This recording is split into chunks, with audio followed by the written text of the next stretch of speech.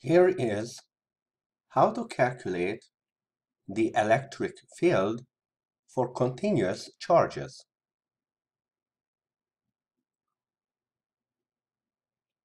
A continuous charge can be thought of as the collection of infinitesimal differential charges.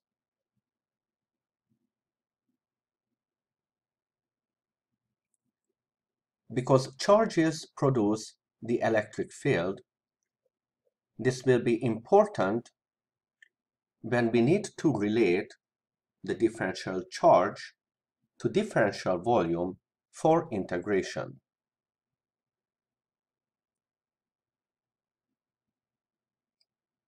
The differential electric field by each charge will still be given by Coulomb's law.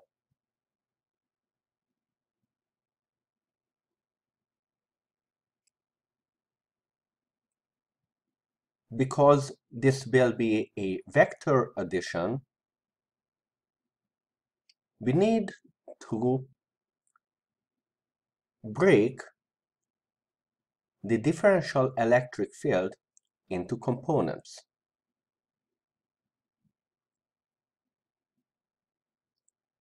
We perform the integration on each component to get the total electric field components. Finally, we can convert back to polar coordinates or use symmetry arguments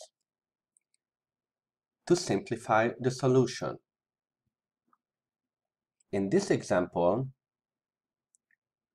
when we try to find the electric field along an axis of symmetry, we can safely say that there is no component perpendicular to that axis.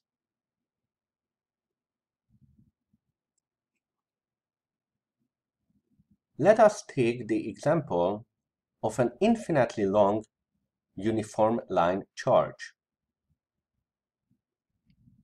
We want to find out the electric field at a distance x.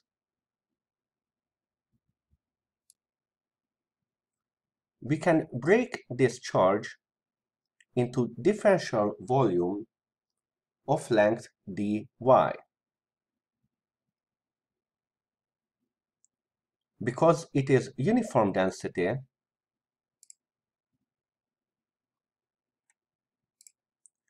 we can use that to relate the differential charge to the differential length.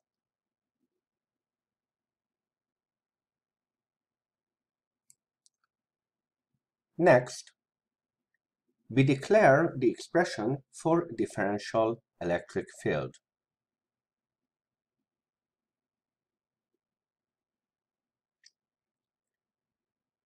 Note that r is still the straight line distance between the differential charge and the point where we are trying to find the electric field.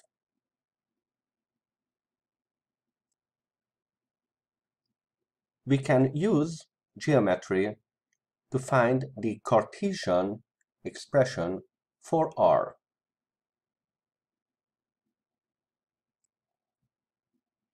we also convert the differential electric field into its components.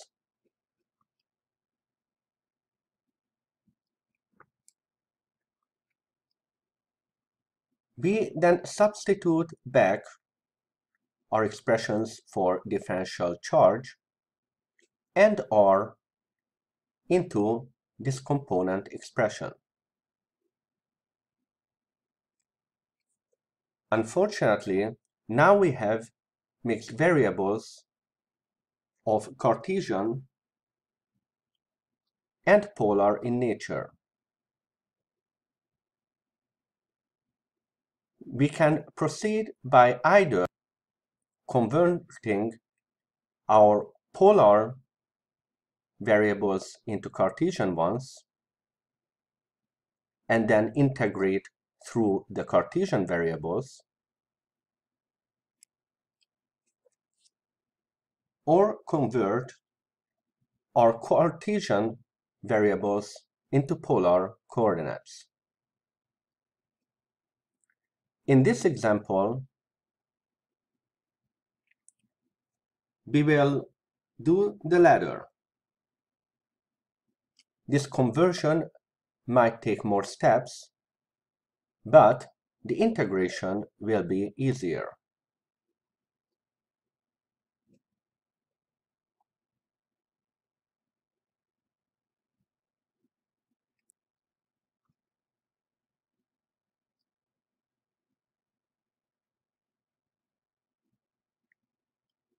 We plug back in the expressions for the variables.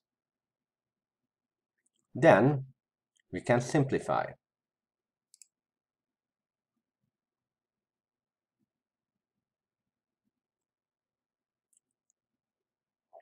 This is a simple integration, but check the limits. Note that in this case, because we are dealing with an infinitely long charge, the angle limits are between negative pi over 2 and positive pi over 2.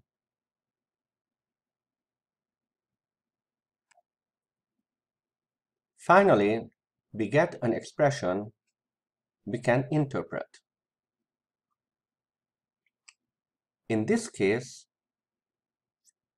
the electric field from an infinite uniform charge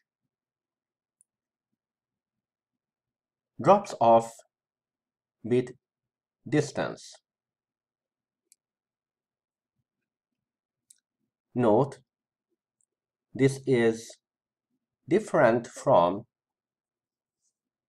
the electric field from a point charge where the strength of the electric field drops off as distance squared.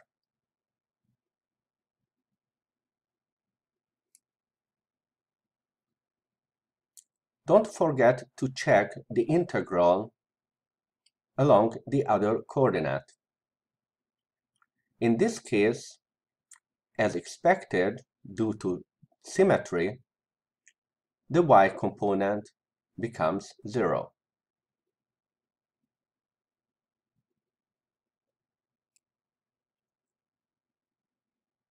In our next example, we consider a charge distributed uniformly around a thin hoop of radius r. We want to find the electric field at some distance x along the axis of the object.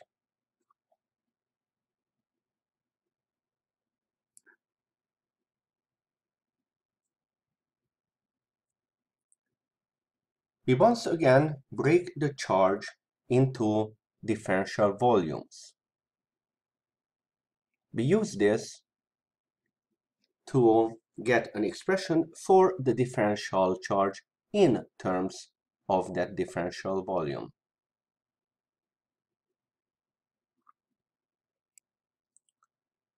We set up an expression for the differential electric field and find an expression for the radial vector. We break the differential electric field into its components and insert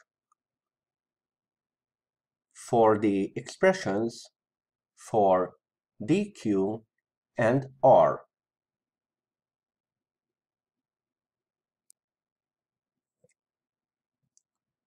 Once again, we need to get into consistent coordinates.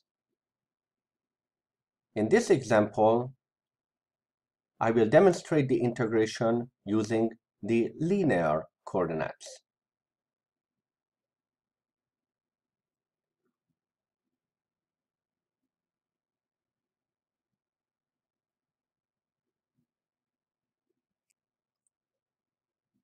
We simplify and isolate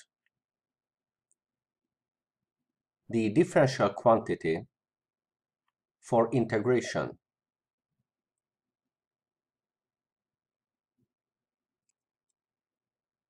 Since most of the variables are constant, the integration will be simple.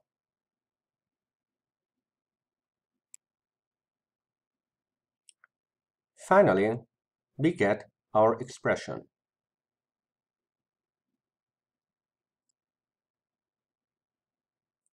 If necessary, interpret the expression.